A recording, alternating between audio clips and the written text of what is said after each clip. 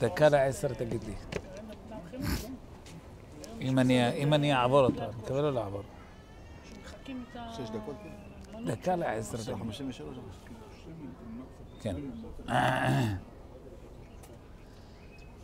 ושמחת בחגיך והיית אח שמח. צריך להבין מה זה האח. ושמחת בחגיך והיית שמח. מה זה האח הזה? ונאמרו בזה כמה וכמה הסברים. לפי דרך הבעל שם טוב אפשר להסביר מה זה והיית אח שמח. כי לכאורה יש, יש ידוע שהגאון מווילנה אמר שהמצווה הכי קשה, הכי קשה, זה לשמוח בחג שבעה ימים. הוא אומר, איך אפשר לשמוח 24 שעות ביממה כפול שבע? ושמחת ושמחת ושמחת, להיות בשמחה, שמחה, שמחה. ועוד איך שאנחנו יודעים, מציאות האדם, הטבע שלך, זה כי עפר אתה ואל עפר תשוב. ויסוד העפר זה עצבות ועצלות. והתורה אומרת לך, אני רוצה שתהיה שמח. אבל אני, מציאותי היא הפך השמחה. המציאות שלי היא רק עצבות, דיכאונות, ורע לי, ושחור לי, ולא טוב לי.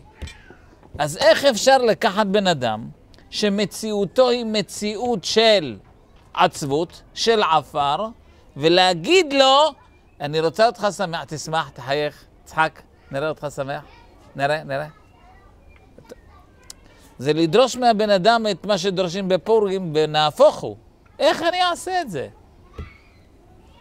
באה התורה ואומרת לך, בוא אני אתן לך את העצה. והיית אח, פסיק, שמח.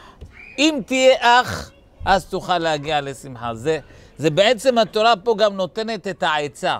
מה זה אח? רש"י אומר, כל אחין ורקין מיעוט הם. אח, אח זה בא למעט. במילה אח התורה אומרת, אם תמעט את עצמך, זה ייתן לך את הכלים איך להיות שמחה, איך להיות בשמחה. למה? הרי מה גורם לאדם לא להיות בשמחה? כי אנחנו תמיד רוצים שלמות, רוצים מאה אחוז. בכל דבר. מאה אחוז שלום בית, מאה אחוז חינוך ילדים, מאה אחוז פרנסה, מאה אחוז בריאות, מאה אחוז... שהכל ילך מושלם. אז מה קורה כשטיפה היה רק 99, לא היה 100, היה 99, אה, הנקודה הזאת הייתה חסרה.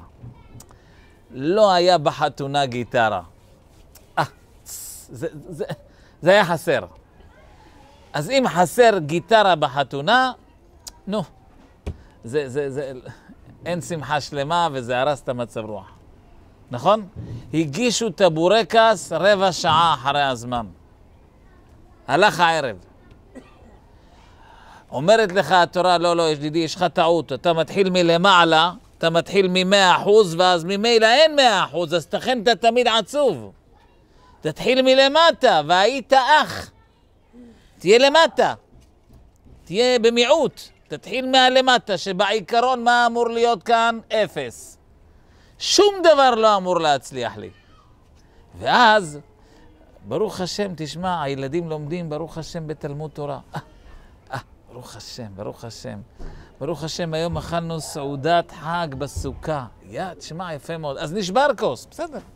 אבל היה סעודה והיה זה. בסדר, אז, אז מישהו נפל, קיבל מכה בר... בסדר, אז מה, אבל אתה פתאום מגלה, בעיקרון היה אמור להיות כלום, והיית אח, ואתה רואה שברוך השם יש הרבה יותר מהכלום. אני נמצא במקום הרבה יותר גבוה מנקודת האפס, משפת הים. אז, ואז ממילא, כשאתה והיית אח, כשאתה תגיע לאח, למיעוט, אתה תהיה, יהיה לך את הכלים להיות שמח. פתאום אתה תזהה, וואי, יש לי את זה, והיה כאן ישועה, והיה כאן נס, והיה כאן משהו, והיה כאן והיה כאן. הנה עכשיו נסענו, מאבא שלי, נסענו חזרו לפה. באוטו היה את, ה, את התינוקת והיולדת ובעלה, היו שם כמה חבר'ה. ומישהו נכנס ברכב. נכנס. ונתן מכה. אז אתה יכול להגיד, יואו!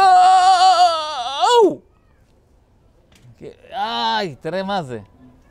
אתה יכול להגיד, ברוך השם, כולם יצאו בשלום.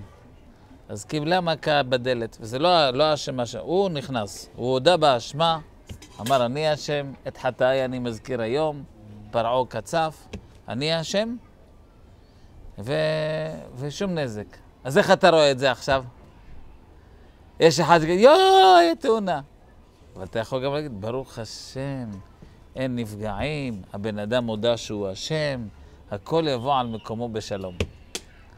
אומרת התורה, אם אתה תהיה אח, אם אתה תעבוד עם עצמך להוריד פרופיל, להיות נמוך, תתחיל תמיד את העבודה מלמטה.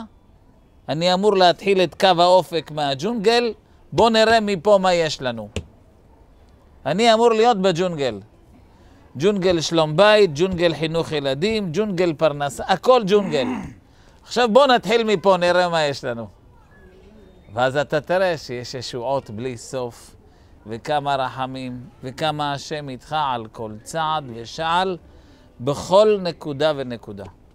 אי, אתה לא יכול לתאר איך השם בתוך הצרה מלפף אותך. כשאנחנו הגענו לשם, למקום שהיה את הנקודה, את המכה שהוא נתן, אז הוא התחיל לשחק איתנו. אה, בוא נגיד שגם אתה אשם וגם אני אשם, ששנינו אשמים. בוא נגיד שנינו אשמים. כך הוא רצה. אז השם זיכה אותי ששני האחים שלי באו איתי, אורי ויובל, באו, מי אשם? מה, אני לא דיברתי כלום. מי אשם?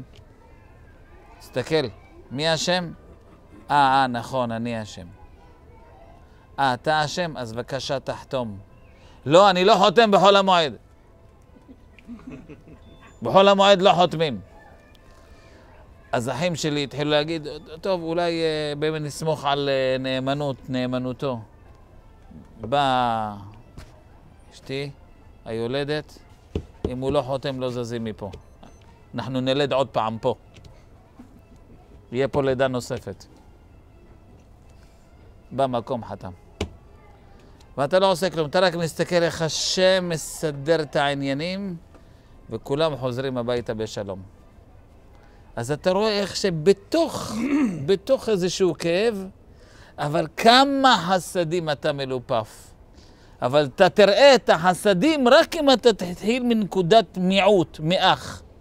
אז כשהתורה אומרת ושמחת בחגיך והיית אח שמח, היא גם נתנה לך את הכלי איך להגיע לשמחה הזאת.